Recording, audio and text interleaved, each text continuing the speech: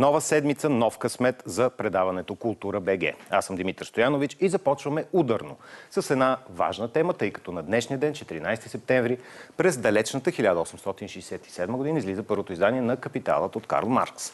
Наши е, първи гости по темата са професор Хараламби Паницидис, който е философ, преподавател в Софийският университет и доктор Димитър е, Бошков, тоже преподавател в Софийския университет. Първият ми въпрос към вас, професор, е имате ли моето усещане поне, че мнозина прочетох тази ключова книга Капиталът, както дяволът чете Евангелието? Не само имам такова чувство, но мисля, че това е факт. И по този начин Капиталът продължава да се чете не само след неговото излизане, но и до ден днешен. И то много усърдно. Да, точно така. И аз съм съгласен. След малко ще така разчленим темата в доста по-големи подробности. Следващите ни теми в предаването са свързани с това, което казах преди малко. Лилия Баджиева с клас по актьорско майсторство в театралния колеж Любен Гройс. Тя ще гостува тук заедно с един от своите асистенти. А, продължаваме. Другите теми са на... прехвърляме към Александра Гюзелева. Шани, кажи ни какво пък ти ще ни представиш. Здравей, Дими! Нов късмет, надявам се, за Европейския музикален фестивал. 20-то юбилейно издание беше от, отложено през пролетта. Сега започва, ще има концерти през септември и през октомври. Людмил Ангелов свири Шопен в два поредни концерта. С него ще си говорим и за пиано екстраваганца. И заобщо какво предстои, стискаме палци на Европейския музикален фестивал, който ще започне най-после. Чудесно е всичко това. Сега прехвърляме топката към Ана Ангелова, което е на едно любимо културно средище в центъра на София. Добро утро! Да, екипът ни е в кино Влайкова, за да ви съобщим една добра новина. Кампанията за набиране на средства за нова кинотехника, необходима за легендарния киносалон Събраните средства са близо 73 000 лева, а зад мен може да видите и вече новият киноекран. Какво друго е закупено с тези средства, ще ви разкажем в следващото включване.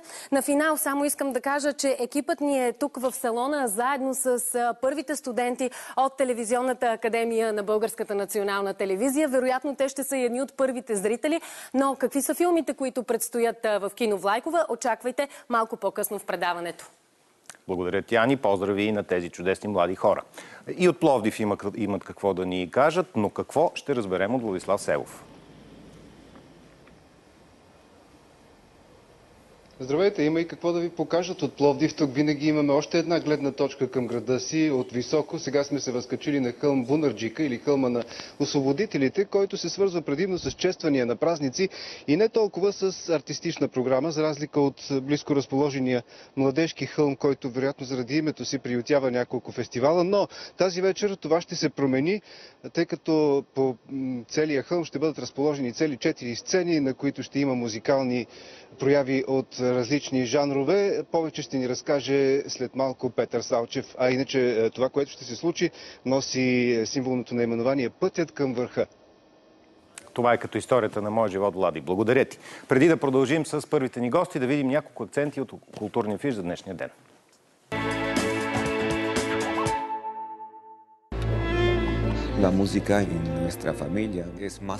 В София, Пловдив и Варна продължава фестивалът за документално кино Master of Art. Тази вечер от 18 часа и 30 минути в Лъки дом на киното може да гледате филма Ара Маликян «Живот сред струни» на испанската режисьорка Ната Морено. В него тя разказва историята на цигуларя с ливански происход Ара Маликян, проследява професионалния му път и личната му история – Филм за арменския геноцид, за миграцията на бежанците между Азия и Европа. За 8 годишния Ара във военен Бейрут притежаваш само една цигулка.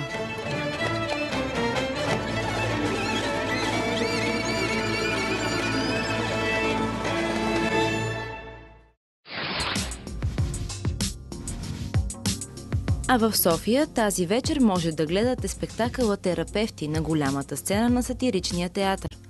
Постановката е под режисурата на Владлен Александров и ни среща с Брус и Прудънс, които търсят партньори по обява. Първата им среща минава катастрофално, но когато повторно се събират подмамени от поредното рекламно съобщение, решават, че това не е случайно. Вижте продължението днес. Началото е в 19 часа и 30 минути.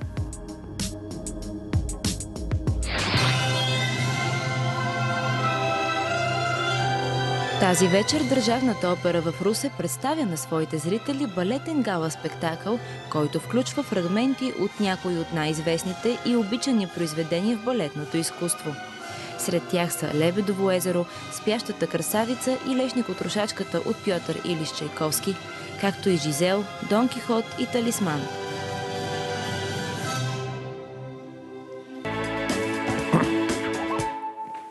Напомняме ви за още едно събитие в днешния ден. Тази вечер в камерата на зала България от 19 часа ще се проведе благотворителния концерт на Сузана Клинчарова и ученици, а каузата е нова арфа за Националното музикално училище Любомир Пипков. Концертът е част от Международния фестивал Софийски музикални седмици. В петък ви зададохме въпроса колко струни има съвременната арфа. Подвеждат въпрос. Трима от вас отговориха правилно. Съвременните арфи имат по 45, 46 или 47 струни. Поканите печелят Светелина Гуцина, Илина Генова и Аглика Крушовенска. Можете да ги получите на входа на БНТ. Сега продължаваме с обещаната първа тема и тя е свързана с факта, че на днешния ден, 14 септември през 1867 година, излиза капиталът от Карл Маркс. Започнахме да си говорим още в самото начало на предаването. Професор Хараламби Паницидис е тук при нас, както и доктор Димитър Бошков. Започнахме да си говорим, че това е една книга, която мнозина някакси не прочетоха правилно, не я ли разбраха или не я дочетоха. А, първо да започна с, така да се каже, първата част от вашето изречение. А, Капиталът е трудна книга. Сега няма какво да си кривиме душата. А, особено пък за тези, които искат да я прочетат. Много от тези, които я четат, за съжаление, не я и разбират. По една или друга причина. Сега има ли смисъл да... Но една от основните причини след излизането на капитала, тя да не бъде разбирана, е простата предпоставка, че когато четеш капитал от определена гледна точка, от определена социална позиция, много от нещата интуитивно не биват, не биват възприемани, не биват разбирани, особено тезите на Марк за историческия характер на капитализма като определена конкретна обществена форма и особено неговите тези, които касаят формата на собственост, която е определяща за това общество. Тоест също нейният исторически характер. Доктор Бошков, съгласен ли сте с това и въобще по какъв начин различните социални кръгове, аз съм абсолютно съгласен с господин професора, прочетоха по абсолютно различен начин едни и същи тези. Да, разбира се, че съм съгласен. Още по-малко ние отдавна сме свидетели на, на това лошо четене. Или погрешно или непълноценно четене на Маркс. Разбира се, една от причините, поради които това се случва, е и, че самия Маркс използва в своята книга абсолютно всички най-модерни за времето му исторически, економически, философски и социални теории. Тоест човек, за да, да чете пълноценно капитала, трябва целият този контекст да му бъде, ако не добре познат, то поне да има някаква бегла представа от всичко това. Още по-малкото, и това много изследователи го споменават за Маркс, че цялото му творчество е едно постоянно писане в даден контекст, което освен това интервенция в този контекст. Тоест Маркс, пишейки, той се намес, намесва в, в всички социални и исторически събития около неговото време. Така че разбира се, когато 50, 60, 100, 150 години след написането на капитала ние го четем, ние винаги трябва да имаме предвид какво от него можем да вземем, как, какво е било характерно само за неговия си контекст и така нататък. А... Много типичен пример за това, разбира се, и това, което се случва в Русия. В едни по-ранни свои текстове Маркс казва, че там не може да се получи а, социалистическа революция. Разбира се, в по-късни едни писма той леко ревизира тази своя теза, но във всеки случай остава проблематичен, проблематичен Ами тя, ако, ако погледнем честно, не се и случи социалистическа революция в Русия. Продължаваме буквално след минута нашата тема. Подготвили сме едно кратко видео по темата. Капиталът, още известен и като Капиталът критика на политическата економия, е основен теоретичен текст върху материалистическата философия, економия и политика от Карл Маркс. В него той си поставя за цел да разкрие економическите модели, стоящи в основата на капиталистическия модел на производство, като се противопоставя на класически економисти като Адам Смит, Жан Батист Сей, Дейвид Рикардо и Джон Стюарт Мил. В своя анализ Маркс чертае моделите на следващите капиталистически економики, като се базира на примера на индустриална Англия от средата на 19 век.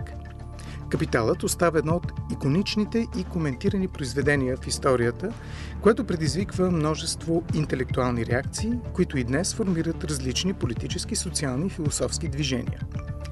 Личното копие на Карл Маркс на първия том на книгата, заедно с черновата на манифест на Комунистическата партия, са включени в регистъра на ЮНЕСКО Световна памет, като две от най-важните публикации на 19 век, имащи огромно влияние и до днес – Маркс не доживява публикуването на планираните втори и трети том, които биват редактирани и публикувани след смъртта му от неговия приятел и колега Фридрих Енгелс.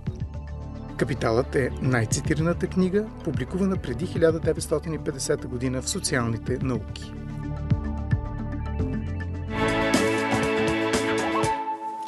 Точно така. Това е едно произведение, което се цитира от всички, под всякаква ъгъл, под всякаква гледна точка. И човек, който ми цитира Капитала, веднага може да го познаеш дали го е чел или дали го е разбрал, но не знам защо постоянно зациклим на тази тема. А, професор Паницидис, в киното има едно, една форма на представяне, която е много кратка, да наречения питчинг, което много кратко да си разкажеш филма с две изречения – Способно ли, способни ли сме да разкажем тази книга в две изречения или дори в един абзац? За, за, да, за да тръгнем напред, за да разберат нашите зрители защо пък толкова много а, промени света а, тази книга или поне такива бяха заявките. Така, с риск да огробя нещата. Нека. А, нека така. Да. значи бихме могли с едно, ще се опитам и с едно. Пък ако не успея, може да опитам и с две, ако не възразявате.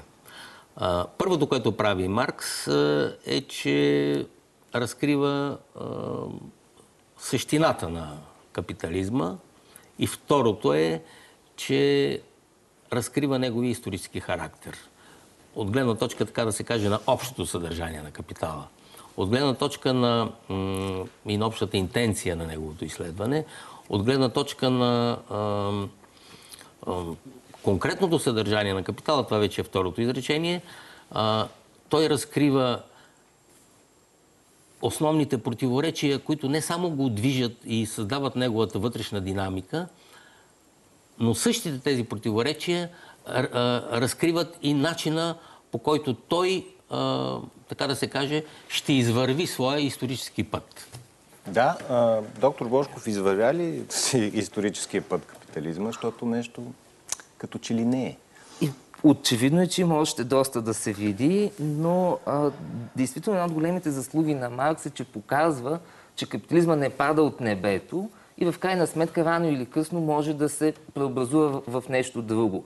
А, разбира се, че за, от времето на Маркс до сега ние сме свидетели, ако не на неговото приключване, то поне сме свидетели на неговото преобразуване. Тоест, особено сега в дигиталната ера, ние постоянно виждаме точно пораждането на, на нови форми на собственост през дигиталните медии, платформи, така неща, споделен или шеринг економика, които ни показват също така, доказват сякаш това, което Маркс е казал, че нали, формите на собственост еволюират в хода на, на еволюцията на обществата и в момента сме свидетели на, на появата на нови такива форми на собственост. Нали.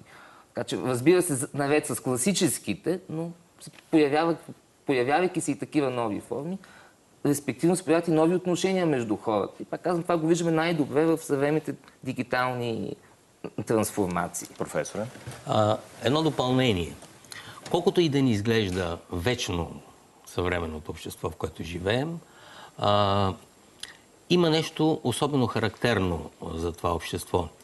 А, до доколкото а, динамиката на, на неговото развитие е противоречива, в хода на своето развитие той отваря, особено по време на криза, особени исторически прозорци, които винаги могат да бъдат а, м- някакъв излъз към друга форма, историческа форма. Стига да има субект, който да ги реализира. подобна, подобен а, излъз от границите на това общество бяха така наречените социалистически революции. Макар и неуспешни, макар и в този контекст, те показаха, че по време на криза е спос... обществото, хората са способни да излязат извън границите на тази обществена форма. В този смисъл Маркс добър прогностик ли е, както намекна господин Бошков? А, значи Маркс, според мен, не е прогностик в а, смисъла на думата, която е употребяваме, независимо от това, че е говорил за комунизъм в своите политически тези и възгледи и така нататък, но това, което казва Маркс е, че е възможно, ако това общество не се самоунищожи, защото знаем, че капитализма е способен да се самоунищожи, а, това, отвъд това общество е възможна и следваща а, историческа форма. Стига да има хора, които да, я- да я създадат. Защото самото това общество създава предпоставките за нея.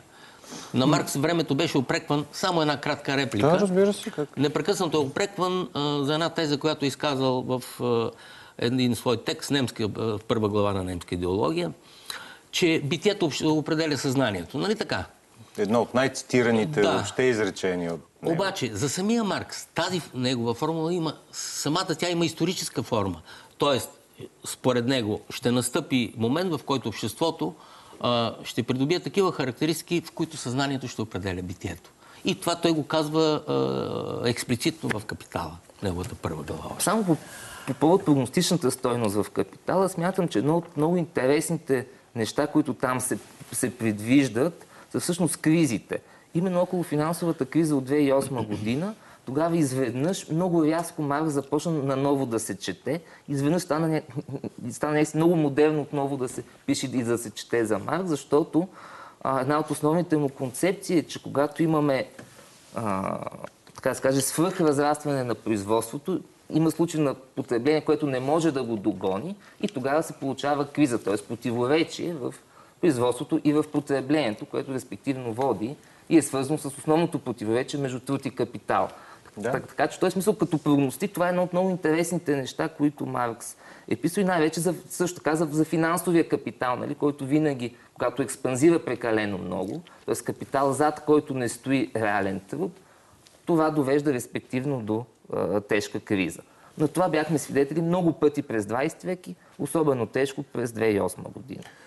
Да, и, и не само. Тук може да цитираме толкова кризи, че Толкова просто няма много, да ни да. стигне времето. Професор Паницидис, обаче, а, ние Маркс се опитваме да го анализираме, отбелязваме, знаем колко е важен неговия труд, дори ако някой не го е чел, т.е. повечето хора, разбира се, не са го а, чели. Но в същото време към него има и една латентна омраза, може би е силна думата омраза, но така, отвращение свързано с идеологите, които го размятаха като прани гащи, смея да кажа, във времето, портрети, скулптури, не знам какво си. А пък в крайна сметка Маркс е един изключително интелигентен човек, един философ, който си пише по нещата, които го вълнуват и то пише така, че да ти отвее шапката. Как, как да излезем от това, как, да- такава неприятна за мен спирала, защото в крайна сметка политическите натрупвания водят до ето такива нравствени изменения и обезличаване на една фигура, която трябва да се знае и трябва да се познава. Така, значи това е а, твърде сложен въпрос. И не съжалявам. едва ли бих могъл да намеря за краткото време, което имаме съвсем адекватен отговор. Не бих искала, разбира се, да се оправдавам и с, така да се каже, такова е било времето. Този проблем има една позитивна страна, ако мога така да се изразя. И тази страна е, че доколкото си спомням, нито една теория не е предизвикала такъв реален социален отзвук. Това направо мога да кажа, че си е непосредствена заслуга на Маркс, че неговата теория предизвикала такъв социален и практически отзвук. От друга страна обаче, а, за това, което се случва с създаването на така нареченото социалистическо общество, не бива да виним Маркс. Макар, че неговото име, както вие казахте, е, така беше ни омръзнало. Да. С основание беше омръзнало на хората. А, и не само неговото, Енгелс, Ленин и така нататък и така нататък. Но а, за това а, има определена вина, имат определена вина субектите, които, така да се каже, използвайки този параван, а, употребиха определени социални организми, така да се каже, в името на цели, които не бяха присъщи на теорията на Маркс. Де-факто. Точно така е. Господин Бошко, последно изречение от вас. Младите днес има определени кръгове, които ужасно много харесват, следват а, Маркс. Те какво виждат в него? Че в Маркс се вижда една, все пак едно желание за еманципация, една възможност да се промени, ако не целият свят глобално, то поне на микро ниво някакви общества, които да се опитат да бъдат поне малко по-хуманни. Между другото, в Латинска Америка има изключителни опити и експерименти в тази насока. Включително дори мога да кажа, че има и католически марксизъм там. И така че в този смисъл това е това съчетание между определен тип економическа теория определен тип социална практика. И затова казвам, то е много вдъхновяващо все още за много от социалните движения в, в Западна Европа, в Латинска Америка и по Да. други места по света. Много ви благодаря, че бяхте наши гости по една за много поканата. трудна за изговаряне тема, особено за кратко време. Както се казва, това Мисля, че заслужава успяхме да се справиме до серия от някъде. къртове. Прекрасно се справихте. Благодарим. И ние благодарим. Хубав ден и всичко добро на вашето с предаване. темата на Ана Ангелова. Добро утро, Дими! Ние сме отново в кино Влайкова, защото вече цели 8 месеца продължи дарителската кампания за легендарния киносалон с цел събиране на средства за нова кинотехника. Какви са резултатите? Близо 73 000 лева и над 350 дарители. Повече за това ще научим от Олег Ковачев, който започна тази кампания като че ли не вярващ, че ще има такъв голям успех, но ето, че сега киното вече има нов екран и нова киномашина, с която да се осъществят прожекциите. Киномашина, която впрочем ние ще видим, нали така? Да. Искате ли да влизаме вече навътре? С удоволствие. Заповядайте. Сега ще ви заведем да, в кабината, където тук до съвсем скоро беше старата киномашина. Не се притеснявайте за нея. Тя е съхранена от салона, така че в бъдеще зрителите да могат да видят и старото, и новото. Това обаче е черната котия, с която започва новото летоброене за Кинево Айкова, нали така? Да, това е черната а, техника, за която толкова време събирахме пари. Тук е мястото да кажа едно голямо благодаря и на БНТ, и на вашето предаване, и на теб, защото а, така при, при сърце взе а, нашето желание да обновим Киновайкова. Без тази машина нямаше как да а, а, прожектираме най-новите филми, които влизат, а сега може да се, а, по, да се похвалим, че вече, извиняйте, че зекам, но съм малко развълнуван. Вече пускаме филми с а, най-известните актьори и просто сме щастливи, че успяваме да вкараме, а, да вкараме киното ни в релсите, в които си мечтаехме да, да, да влезе то. Очаквахте ли, че за 8 месеца ще се справите с тази нелека задача? Не. И в тези 8 месеца, нека да кажем, че бяха а, месеците на епидемия, месеците на изолация, беше, да. а, месеци, в които нямаше прожекции. И въпреки това хората се включиха в кампания. Аз бях песимист, умерен, да го е, кажем, но хората ме опровергаха. Беше изключително трогателно. Идваха хора, които ставаха по 5 лева, по 20 лева. Една жена преди няколко месеца дари 10 000 лева. Аз се опитам да я открия, но тя явно, че не желая да има публичност. Един старец едва качи стълбите до канцеларията и пусна 4 лева на а, монети. Просто толкова беше трогателно всичко. И изведнъж парите се събраха. Какво ви казваха хората? Защо даряват за кино Влайкова? Защо се вълнуват от бъдещето на този салон, който нека да припомним за нашите зрители? Това е киносалонът, който никога не е спирал да функционира. Всички те казваха почти едно и също. Това ни е любимото кино. И а, толкова. Някои, които 30 години живеят в Штатите, в из Европа, изпратиха пари и пишеха за любимото кино Влайкова.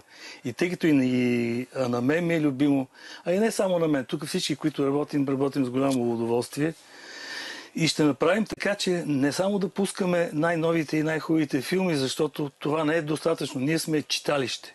Читалището трябва Читалище да Антон разпръсква- Страшимиров? Точно така. Читалище Антон Страшимиров.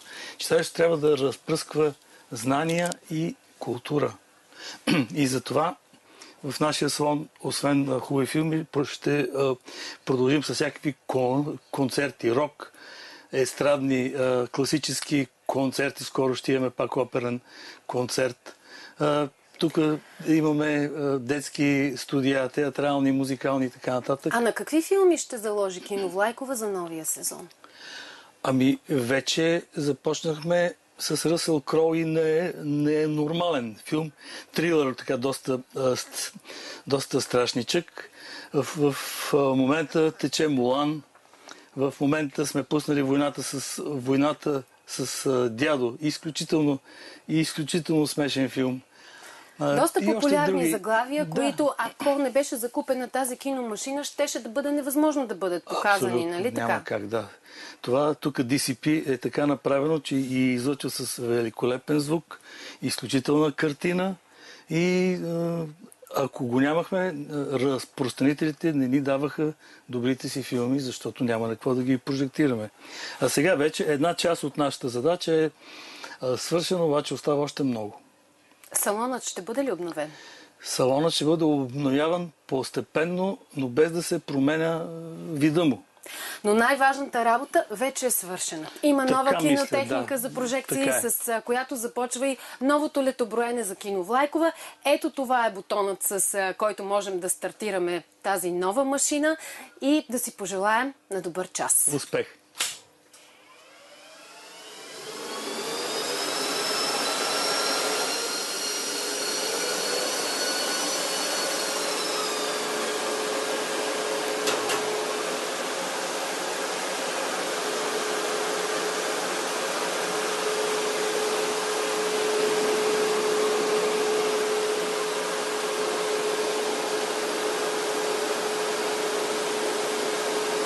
Няма какво да се види, защото тя загря 5-6 машини.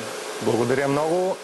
Наистина на добър час и от целия екип на Култура БГ на любимото ни кино Влайкова, макар че ще ми простите, ако не отида да гледам Мулан а, там. А, продължаваме с следващата ни тема, а тя е свързана с невероятния факт, че Лилия Баджиева ще вземе клас по актьорско майсторство в театралния колеж Любен Кройс. Тя е наш гост тук, добре дошла. А до нея е един от нейните асистенти, господин Асен Данков. Също Добър ден. Дошъл. Да започнем от там. Колко години минаха, госпожо Абаджиева, откакто така не сте извършвали педагогическа работа в кабинетни условия? А, ако ме питате, всъщност аз съм получавала много покани да преподавам, дори веднага след като завърших академията. Бях канена тогава и в Любен Гройс. Получавам съм покана от композиторът Румен Цонев, който беше така, оглавяваше театралния департамент на Нов Български университет. Отказвала съм тези покани. Единствената покана, всъщност първата тогава, която съм приемала, това беше поканата на професор Азарян, на когото аз асистирах в академията в неговия режисьорски клас. А точно колко години са минали от тогава, Бога ми не мога да си спомня. А, какво да кажа? Аз приех тази покана след като мислих доста дълго. Първо от една страна така конвенцията актьор, режисьор, работата ми с актьорите е едно, а обучението на актьори е нещо съвсем друго. Въпреки, че на всяка своя работа, на всеки свой спектакъл аз съм гледала като и на като педагогически роман. А, какво да кажа? Имам а, опит а, а, така. Работила съм с актьори, които са а, в Америка. Те всички са, работят по школата на Ли Страсбърг.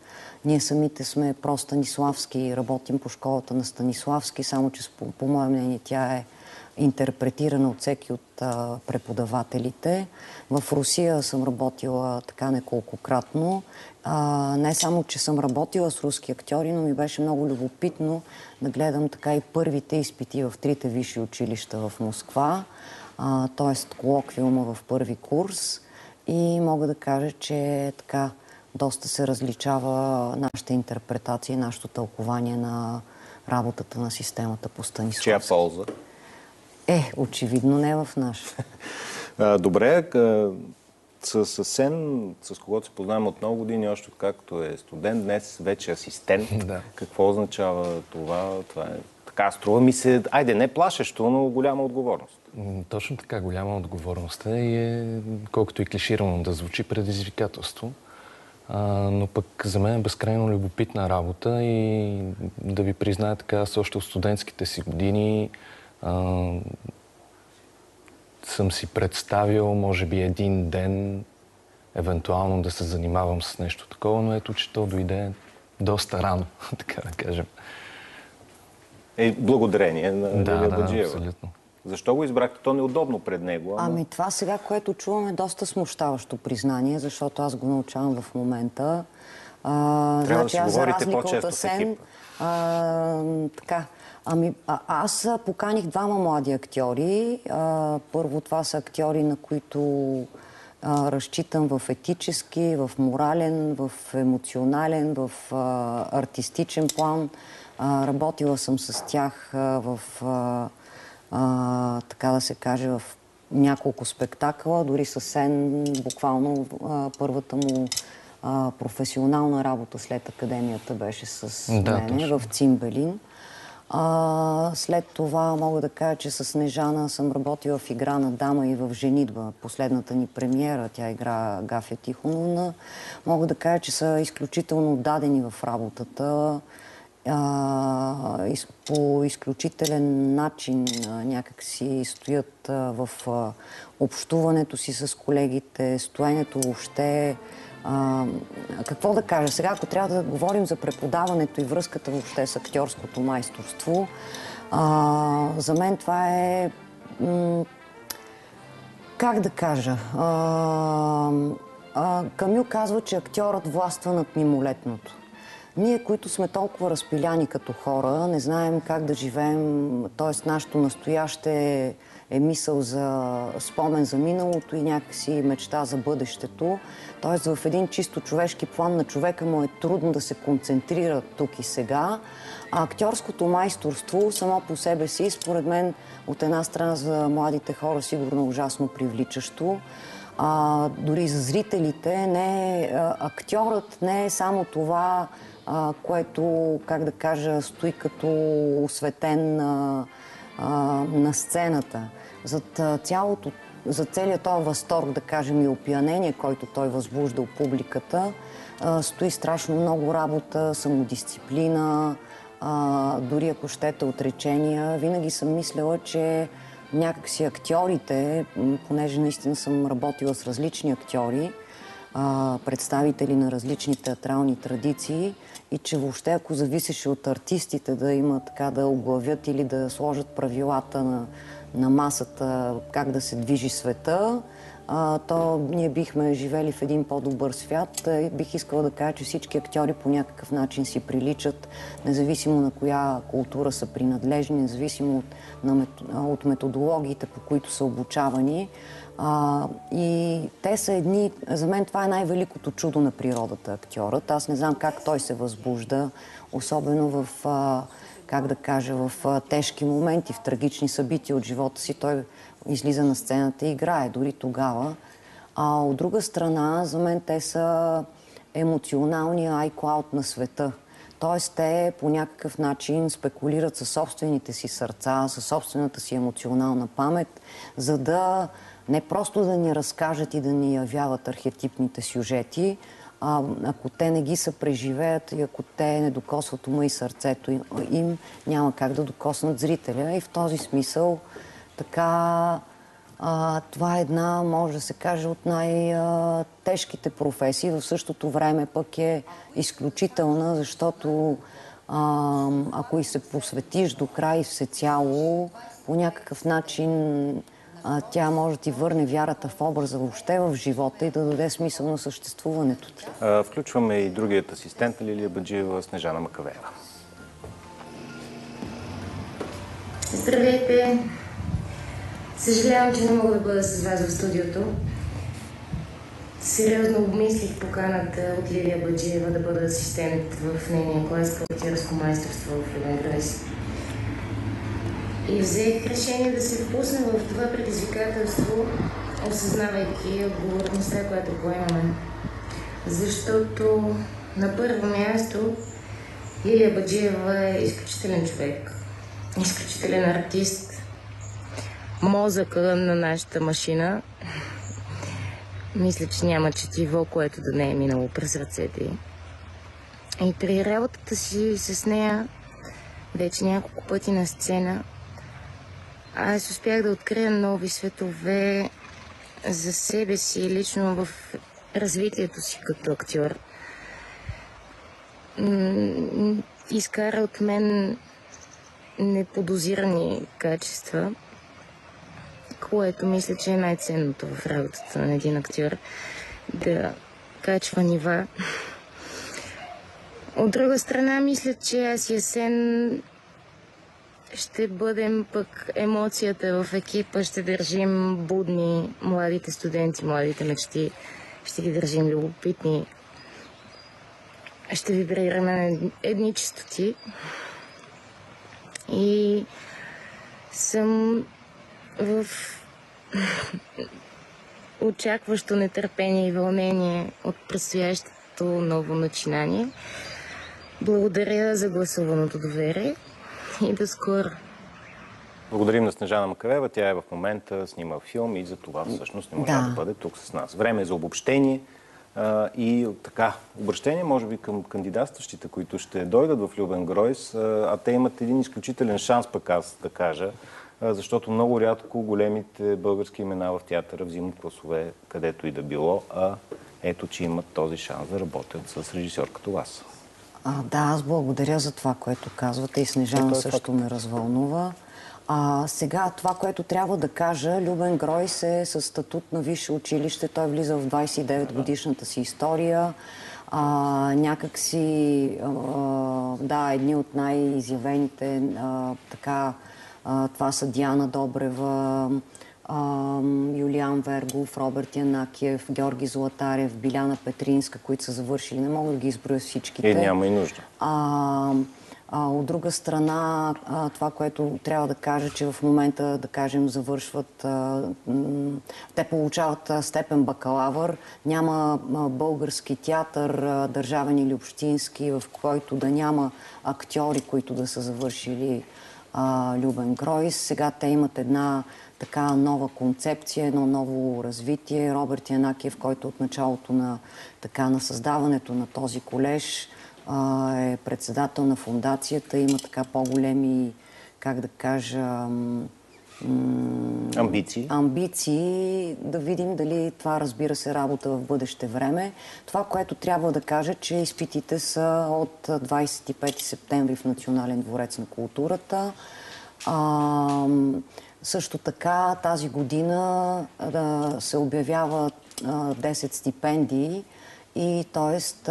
ако тези кандидати се регистрират до 23 септември на grois.college.gmail.com могат да се, така, да се опитат да се преборят въобще да бъдат студенти и така, очакваме ги с нетърпение. За мен винаги е било голямо вълнение да работя с млади хора. Разбира се, ние пък ви желаем от сърце успех. Не се съмнявам и още веднъж казвам, това е един голям шанс за хората, които искат наистина да разберат, що е то театър и да участват активно в него, да бъдат в вашия клас на добър час. Още Благодаря. веднъж ще ви викнем след това, още да видим след първата година какво се случва. Да.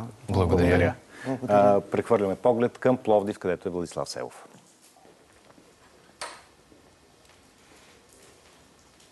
Здравейте отново от Хълм Бунарджика. Ние сме се разположили на една от най-високите му точки, на която ще се случи до вечера най-големия концерт от събитието наречено Пътят към върха.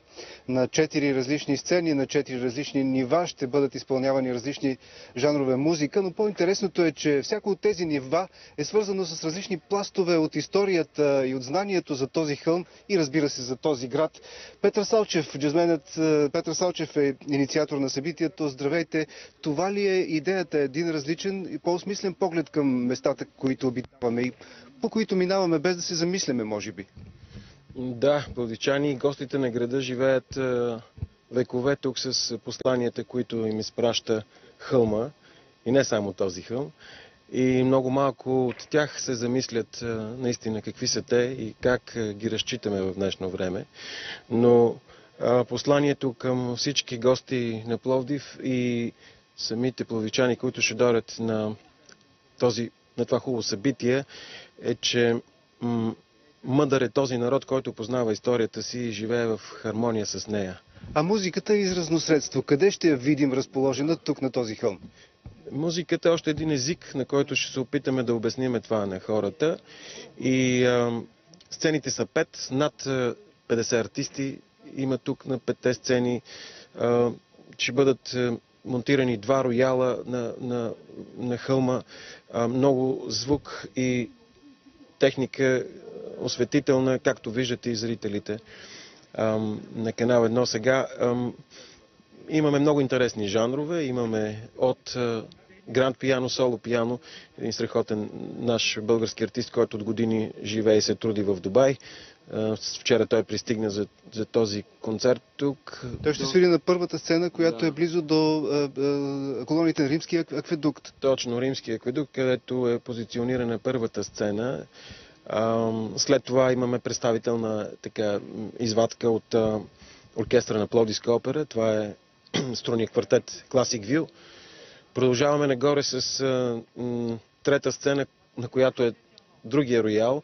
Всъщност там имаме един новосформиран джаз квартет с солист Арнал Гофре и а, младият а, български пианист Станислав Рабаджиев. Малко преди върха имаме една млада, красива и много талантлива арфистка, София Колева, която е възпитаник на арфовата школа в Академията за музикално танцово изобразително изкуство. И тук на самата сцена в естествен декор ще се случи спектакъла, който е продуциран и промотиран от Старозагорска опера. Sting the Opera, ожилването в операта.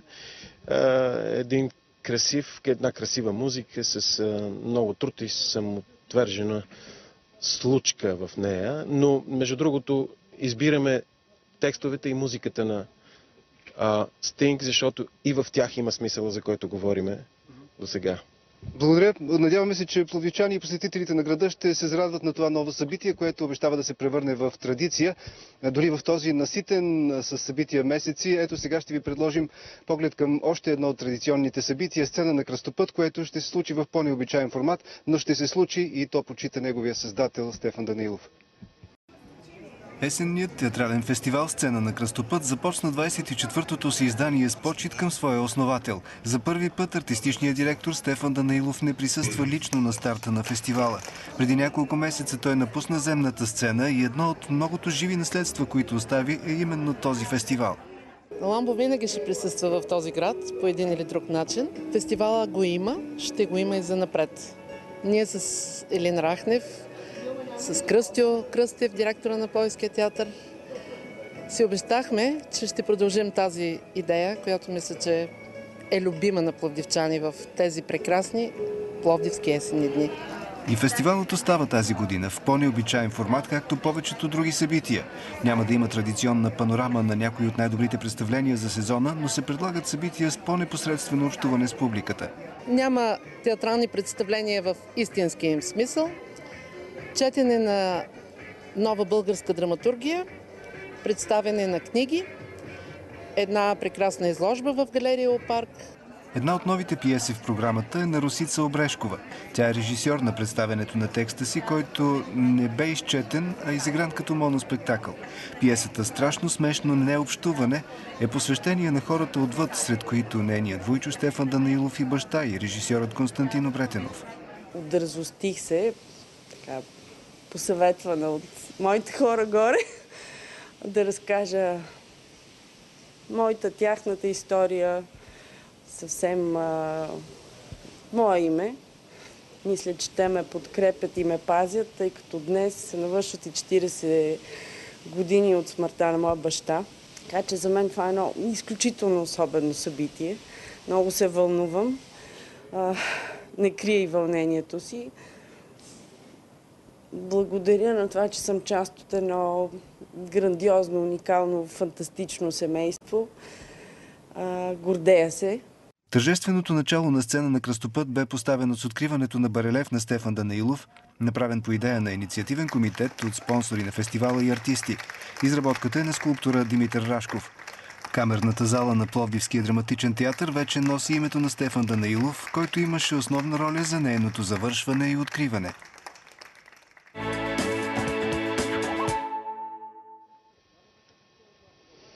И още едно събитие, което ще се случи тази вечер в Пловдив от 19 часа на Античния театър и официалното откриване на празниците на Стария град с концерт-спектакъл Българио Аз всичко тебе дадох. В мащабното събитие участват гвардейски представителен духов оркестър с диригент подполковник Ради Радев, хорова капела с диригент Нели Трошева, солисти от представителния ансамбъл на въоръжените сили при националната гвардейска част, смесен хор на Българското национално радио с диригент Любомира Александрова, хор на пловдивските момчета Стевка Благоева и фолклорен ансамбъл Тракия. Разбира се, разпознахте прословутите думи на Вазов в този спектакъл, в който ще участват още Невена Цонева, Ваня Костова, Боян Михайлов и рецитатори. С оглед спазване на противоепидемичните мерки за всички ще са необходими покани, които, с които може да се здобиете в туристическите информационни центрове в града. Виждате, в Пловдив е наситено, всички са добре дошли. Много благодаря, Влади. И наситени събития предстоят и хубави събития в Пловдив. Сега се връщаме тук към София.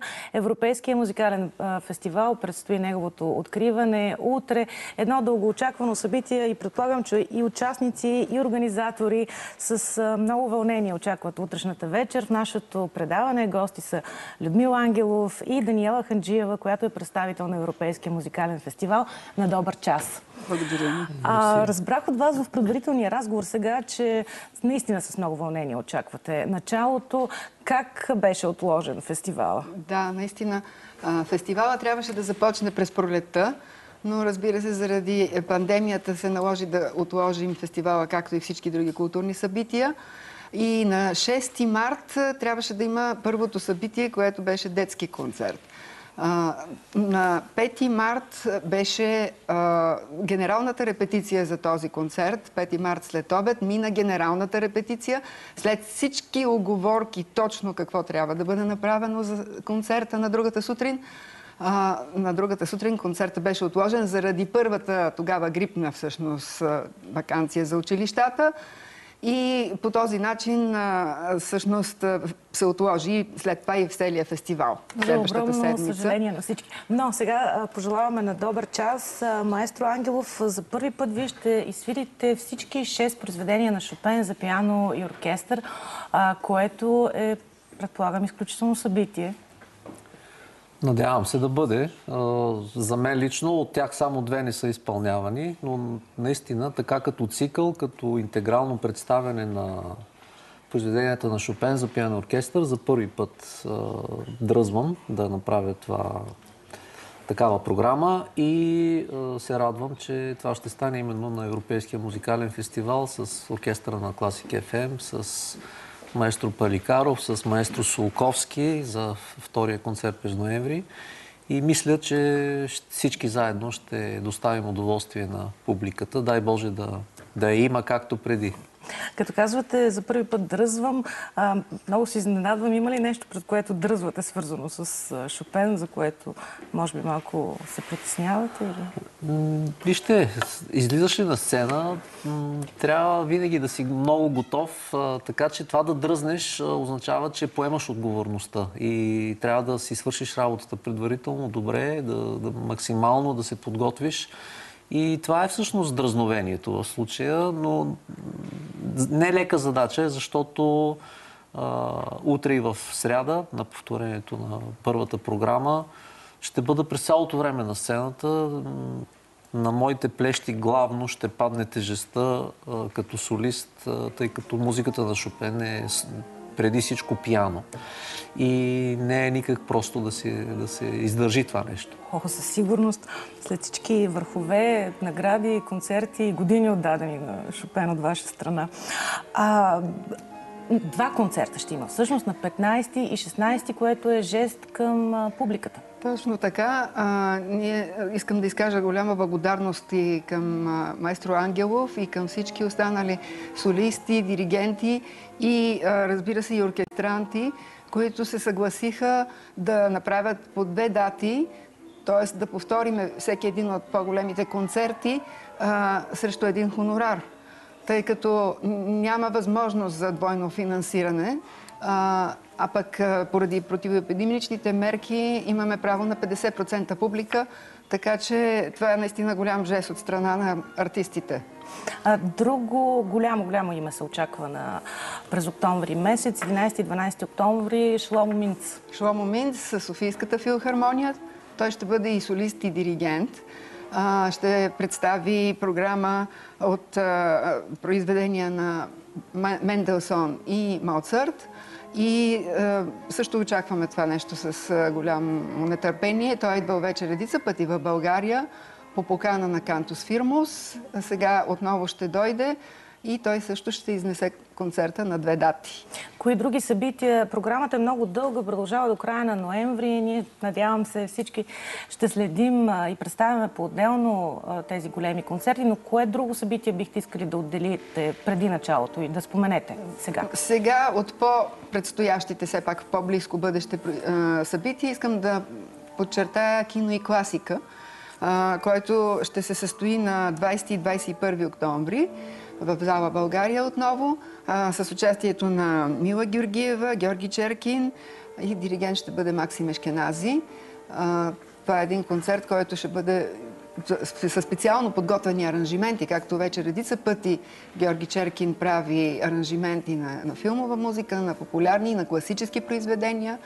А, така че а, това е един концерт, който мисля, че публиката може да а, за да се наслади на него. Споменахте за изключителния жест, който правят всички участници, финансов жест. Да попитам и майстро Ангелов, чието фестивал Пиано екстраваганца предстои сега от 2 октомври. На чия подкрепа разчитате? И вие се връщате от Аполония с два различни концерта. Публиката има ли я?